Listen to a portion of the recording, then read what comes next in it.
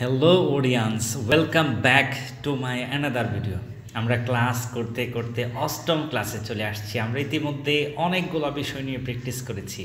আজ আমরা আরেকটি নতুন বিষয় নিয়ে আলোচনা করব। আমি আশা করি আপনারা ভিডিওটা শেষ পর্যন্ত দেখবেন এবং সবচেয়ে গুরুত্বপূর্ণ বিষয় আপনার যদি প্রয়োজন হয়, তো আপনি যে কোনো বিষয় লিখে নোট ডাউন করে নিতে পারেন এবং সেটা বাসায় প্রচুর প্র্যাকটিস করতে পারেন। তো আমরা আর দেরি করতে চাই না, আমরা আমাদের আজকের ক্লাসটা দুটা পার্টে বিভক্ত, একটা হচ্ছে পার্ট ওয়ান আর একটা হচ্ছে পার্ট টু পার্ট ওয়ানে আমরা ইম্পার্টেন্স নিয়ে আলোচনা করব পার্ট টুতে আমরা কিছু প্র্যাকটিস করব। তো এখানে বাক্যগুলো দেখেন, একটা বাক্য তো কিনে সাবজেক্ট নেই। তো যদি কোনো বাক্যের সাবজেক্ট না থাকে সেটাকে বলা হয় ইম্পার্টেন্স তো আমরা একটু দেখি আদেশ উপদেশমূলক বাক্যকে আমরা করার চেষ্টা করব আজকে। তো আসো কাম যাও গো দেখেন, এই বাক্যগুলোতে কিন্তু সাবজেক্ট হচ্ছে না। সুতরাং যাও, দেখো, যে বাক্যগুলোতে আমরা সাবজেক্ট বলি না, সেগুলোকে ইম্পারেটিভ ইম্পারেটিভ সেন্স বলে। তো আমরা করার চেষ্টা করছি। তাড়াতাড়ি এটা লিখো। রাইট ইট কুইকলি কাজটা আস্তে আস্তে করো। ডু দ্য ওয়ার্ক স্লোলি বিছানায় ঘুমাও। স্লিপ অন দ্য ব্যাট খেলা, খেলো আমার সাথে। প্লে উইথ মি তাদের সাথে খেলো। প্লে উইথ দ্যাম এখানে থাকো। স্টে অ্যাট হিয়া অথবা বাসায় থাকো, বাড়িতে থাকো স্টে অ্যাট হোম দেখেন এই বাক্যগুলো আমরা খুব সহজে করতে পারি, কোনো সাবজেক্ট ব্যবহার করা ছাড়া। যদি আমরা দেখি, কোনো বাক্য আমরা বলতে গেলে সেই বাক্যে আমরা সাবজেক্ট উল্লেখ করছি না, সেই বা আদেশ উপদেশ করছি, সেই বাক্যগুলোকে আমরা এভাবে গঠন করার চেষ্টা করব। কী দিয়ে শুরু করব? সরাসরি ভাব দিয়ে। তাহলে আমরা আরও কিছু বাক্য তৈরি করি। এটা আস্তে আস্তে লেখো। রাইট ইট স্লোলি কাজটা করো ডু দ্য ওয়ার্ক কাজটা জোরে জোরে করো ডু দ্য ওয়ার্ক কুইকলি দেখো, দরজাটা বন্ধ করো। ক্লোজ দ্য ডোর জানালাটা খোলো ওপেন দ্য উইন্ডো তো এখানে বসো সিট হিয়ার এখানে যাও গো হিয়ার তো এভাবে আমরা যে কোনো বাক্যকে খুব সহজেই ইংরেজিতে ট্রান্সলেশন করতে পারি। তো আমরা যদি কখনো দেখে আদেশ উপদেশ করছি, সেক্ষেত্রে আমরা কী দিয়ে শুরু করব না? বাক্যটাকে সাবজেক্ট দিয়ে শুরু করব না। তাহলেই হবে। তো এখানে আমরা একটা অংশ শেষ করলাম। তো আরেকটা অংশ আছে, দেখেন, এটা, এইটাতে কী ব্যবহৃত হয়েছে? নতুন নরযুক্ত হয়েছে। যদি আমরা দেখি কখনো যে এখানে এসো না, তাহলে আমরা ডোন্ট ব্যবহার করব। এখানে যেও না ডোন্ট ব্যবহার করব। তাহলে এখানে এসো না ডোন গো হিয়া। কোথাও যেও না ডোন গো এনিওয়ার তাহলে এখানে আমার কাছে এসো না ডোন কাম টু মি। এখানে বসো না ডোন্ট সিট। আমার সামনে বসো না ডোন্ট সিট বিফোর মি। এখানে দাঁড়িয়েও না ডোন্ট স্ট্যান্ড আপ। এখানে কথা বলো না ডোন্ট টক। দৌড়িও না ডোন্ট রান জোরে দৌড়িও না ডোন্ট রান কুইকলি আস্তে দৌড়ে না ডোন্ট রান স্লোলি এখানে যেও না ডোন্ট গো বেরোয় না don't go out at this time এ সময় এ সময় বের হয় না, তাহলে don't go out at this time আবার এটাকে আমরা ইচ্ছা করলে নেবার দিয়েও করতে পারি। নেবার মানে কখনো না। তাহলে নেবার গো দেয়ার সেখানে কখনো যেও না। নেবার খাম কখনো এসো না। নেবার স্ট্যান্ড আপ কখনো দাঁড়িয়েও না। নেবার সিট ডান কখনো বসো না। নেবার ঠক কখনো কথা বলো না। তাহলে নেবার ওয়াচ টিভি কখনো টিভি দেখো না। আমরা এই বাক্যগুলোকে আরও কিছু প্র্যাকটিস করতে পারি। যেমন, দরজাটা খুলো ওপেন দ্য ডোর তুমি আমার কাছে আসো খামঠুমি আমার কাছে তাড়াতাড়ি আসো খামঠুমি কুইকলি তো কখনো কথা বলো না। নেবার ঠক কখনো কথা বলো না, আমার সামনে কথা বলো না ডোন্ট টক বিফোর মি তাহলে কখনো যখন যুক্ত হবে, তখন হচ্ছে নেভার যদি কখনো না উচ্চারিত হয়, তাহলে ডোন্ট আর যদি কখনো এই না বা কখনো এইগুলো উচ্চারণ না হয়, তাহলে সরাসরি আমরা কি দিয়ে শুরু করব? এই সাব বার্ব দিয়ে। তো দরজাটা খোলো ওপেন দ্য ডোর ঘুমাও স্লিপ দাঁড়াও স্ট্যান্ড আপ কথা বলো ঠক কথা বলব না ডোন্ট টক লিখো না ডোন্ট রাইট এভাবে যদি আমরা প্রচুর প্র্যাকটিস করি, আশা রাখি আমাদের এই এই এই বাক্যগুলো করতে খুব বেশি সমস্যা সম্মুখীন হতে হবে না। তো একটা বিষয় প্র্যাকটিস অবশ্যই দরকার। আমি আবারও বলতে চাই, অবশ্যই প্রচুর প্র্যাকটিস করতে হবে। সেক্ষেত্রে নিজের বন্ধুর সহযোগিতা নিতে পারেন, নিজের বাবা মার সহযোগিতা নিতে পারেন। একটা বিষয়, নিজের বাবা মার সাথে হয়তো আপনার বাবা বা মা শিক্ষিত হবে না, সেক্ষেত্রে আপনার ভুলগুলো ধরতে হবে না, কিন্তু আপনি ভুল নিজেই বলতে পারবেন না। সুতরাং অবশ্যই তাদের সহযোগিতা আপনি নিতে পারেন। আপনি তাদেরকে বলে নেবেন আমি প্রথমে বাংলায় বল, বাংলায় না বলে আমি প্রথমে ইংরেজিতে বলব, পরে বাংলায় বলব। দেখবেন অটোমেটিক্যালি আমরা আপনার ইংরেজির উন্নতি ঘটবে। তো এখন আমরা ইম্পারেটিভ সেন্টেন্স দুই ধরনের ইতিমধ্যে আমরা দেখতে পাচ্ছি। ইম্পারেটিভ সেন্টেন্সের আরও দুইটা ধরন আছে। আমরা লেট দিয়ে ইম্পারেটিভ সেন্টেন্স গঠিত হয়। তো লেট মানে হচ্ছে করতে দাও। তাহলে লেট মি আমাকে করতে দাও। লেট হিম তাকে করতে দাও। লেট হার তাকে করতে দাও। লেট ড্যাট তাদেরকে করতে দাও। লেট বল্টু বল্টু করতে দাও। লেট নাট নাটকে করতে দাও।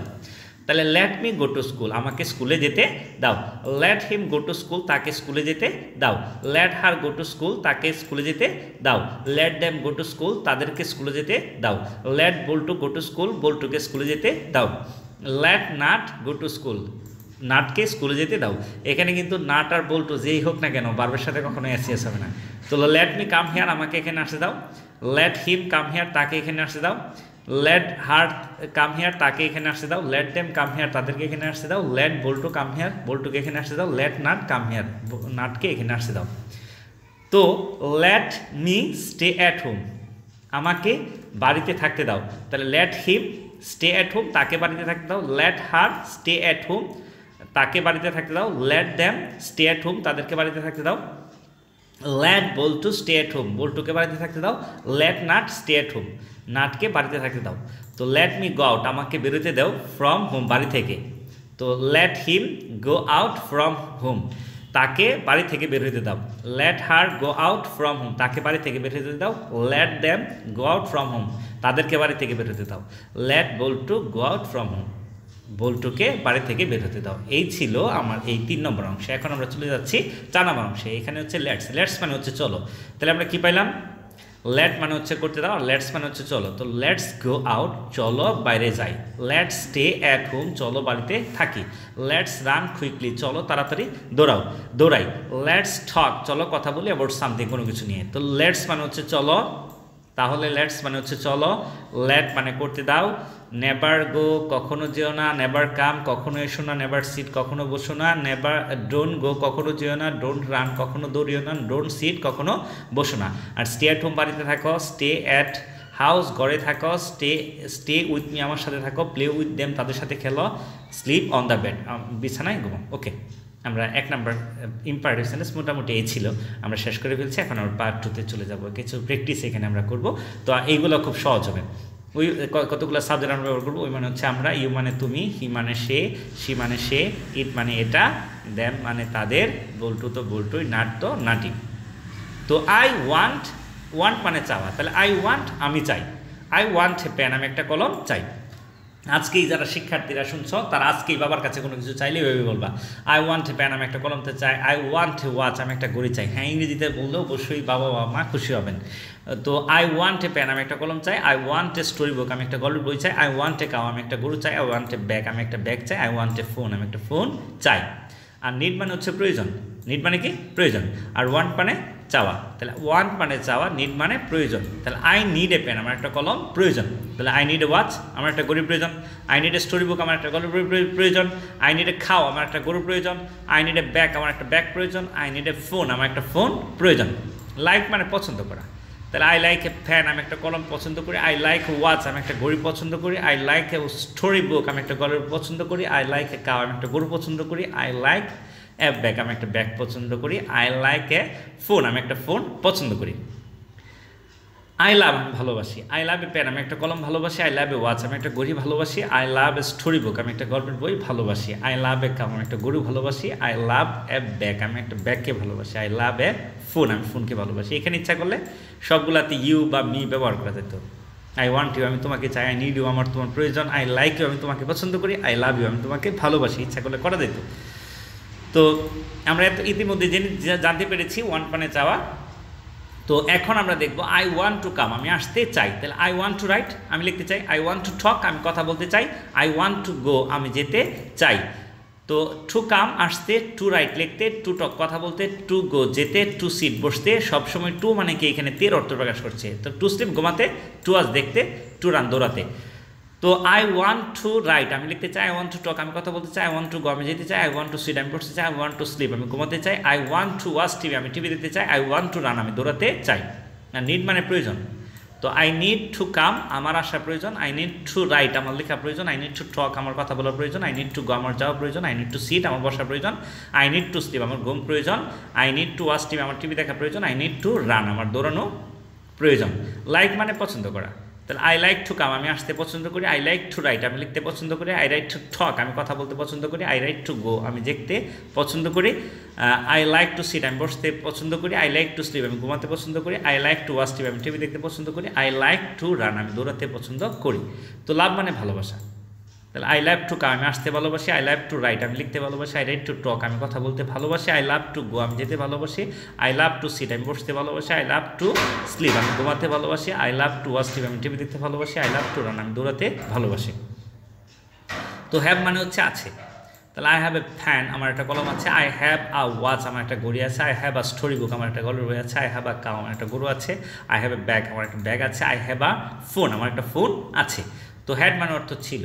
তাহলে আই হ্যাড এ ফ্যান আমার একটা কলম ছিল আই হ্যাড এ ওয়াচ আমার একটা ঘড়ি ছিল I had a story book আমার একটা গল্প ছিল I had a bag cow আমার একটা গরু ছিল আই হ্যাড এ ব্যাগ আমার একটা ব্যাগ ছিল আই হ্যাড এ ফোন আমার একটা ফোন ছিল উইল হ্যাভ মানে থাকবে উইল মানে আমরা জানি ভবিষ্যৎ বোঝায় এটা থাকবে করবে আসবে এরকম বোঝাবে তাহলে I will have a fan আমার একটা কলম থাকবে I will have a watch আমার একটা গড়ি থাকবে I will have a story book আমার একটা বই থাকবে আই উইল হ্যাভ এ খাও আমার একটা গরু থাকবে I will have a bag আমার একটা ব্যাগ থাকবে I will have a phone আমার একটা ফোন থাকবে তো অ্যামিজার মানে বর্তমান কাল বোঝায়, আর অজয়ার মানে অতীতকাল বোঝায়, আর উইল মানে ভবিষ্যৎ বোঝায়। তাহলে আই এম স্টুডেন্ট আমি একজন ছাত্র আই এম এ সিটিজেন আমি একজন নাগরিক I am a job seeker আমি একজন চাকরি অন্বেষণকারী মানে যে চাকরি খুঁজে তাকে বলা হয় job seeker I am a teacher আমি একজন শিক্ষক আই এম এ ফার্মার আমি একজন কৃষক I am a service holder আমি একজন চাকরি মানে চাকরিজীবী I am I am a businessman আমি একজন ব্যবসায়ী।